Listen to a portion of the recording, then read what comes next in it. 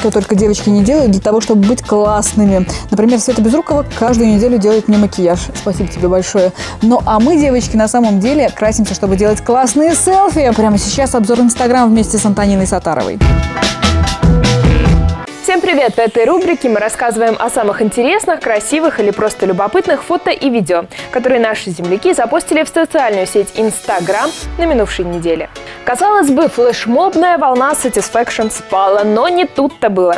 В сети появляются все новые и новые видеоролики, в которые полуголые люди танцуют под одну очень известную композицию. Свою версию танца под Satisfaction выбросили в сетку хоккеисты молодежной команды из Новотроицка. Yeah.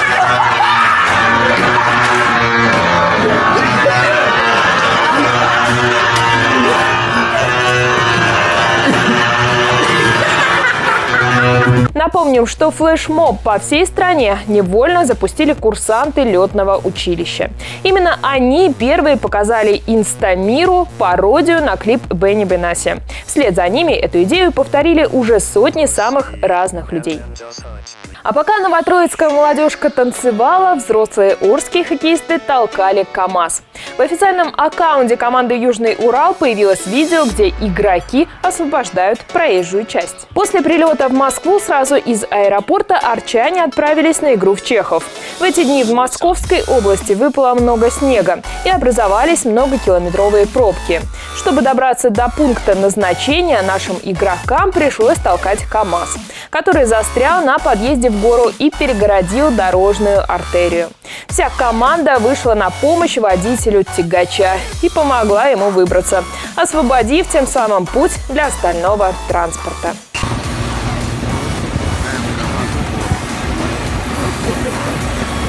Город с телевышки видел, пожалуй, каждый арчанин. А вот выше этой точки мало кто заглядывал. Автор следующего видео предоставил нам такую возможность. Смотрится шикарно.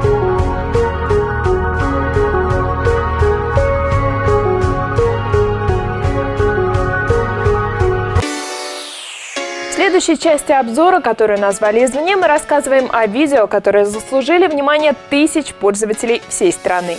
И начнем с видео, которое вызвало массу негодования в социальных сетях. Его главным героем стал молодой футболист Станислав Манаев. Парень сделал очень странный выпад. Высморкался на камеру в пятитысячную купюру. Видео этого процесса полузащитник выложил в Инстаграм, добавив надпись «Я мог бы отдать эту купюру людям, которые в ней очень нуждаются, но не отдам, потому что у меня насморк».